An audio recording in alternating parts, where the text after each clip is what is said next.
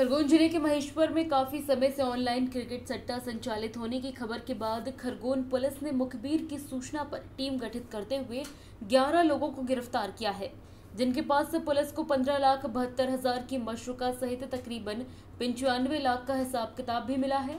साथ ही जब्त सामग्री में छह टीवी सेट, छह लैपटॉप, अड़सठ मोबाइल, दो वाईफाई राउटर व डोंगल, पाँच कम्युनिकेशन सेटअप बॉक्स पाँच मोटरसाइकिल टैबलेट आदि सामान बरामद किया गया है।